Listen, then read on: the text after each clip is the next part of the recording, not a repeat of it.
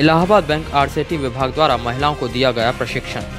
विकास खंड कुरारा के ग्राम पंचायत झलोखर में महिलाओं को तेरह दिवसीय कॉस्ट्यूम ज्वेलरी उद्यमी प्रशिक्षण का शुभारंभ किया, जिसमें विभाग की संकाय सदस्य डॉक्टर नेहा गुप्ता द्वारा बताया कि इनको ज्वेलरी बनाने के साथ रोज़गार शुरू करना व उसको आगे बढ़ाना सफलतापूर्वक अपनी आजीविका को आगे बढ़ाने का प्रशिक्षण दिया जाएगा। इसके साथ इन्हें बैंकिंग, सरकारी योजनाओं की जानकारी दी जाएगी।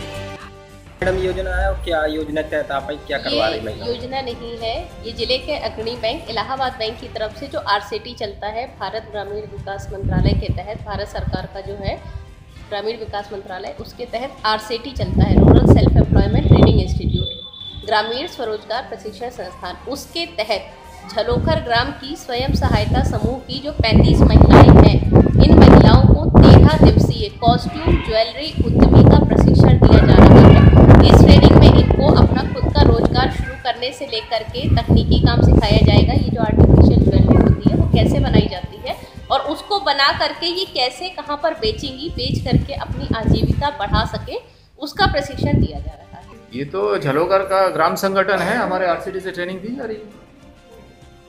कॉस्ट्यूम ज्वेलरी उद्यमी है महिलाओं की ट्रेनिंग है ये तब पुरुष वर्ग भी कर सकते हैं? इसी आरसीटी में हर तरीके का ट्रेनिंग होता है।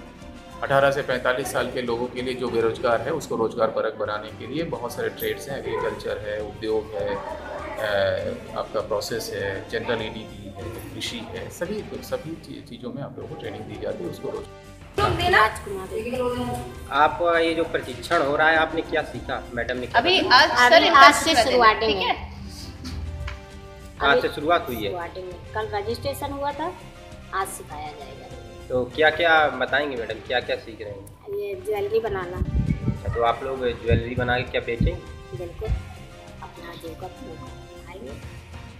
इस अवसर पर इलाहाबाद बैंक ग्रामीण स्वरोजगार प्रशिक्षण संस्थान कुछेछा के निदेशक विभास साहा कार्यालय सहायक रविकांत प्रजापति सामाजिक कार्यकर्ता सत्येंद्र अग्रवाल गुधनिया जुम्मी पूजा प्रीति श्रीवास पुनिया राजकुमारी एवं अन्य महिलाएँ उपस्थित रहीं।